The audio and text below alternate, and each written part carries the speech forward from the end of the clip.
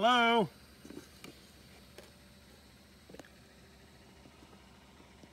Well, fancy meeting you here today. You can't hide. You cannot hide with those big old dark eyes.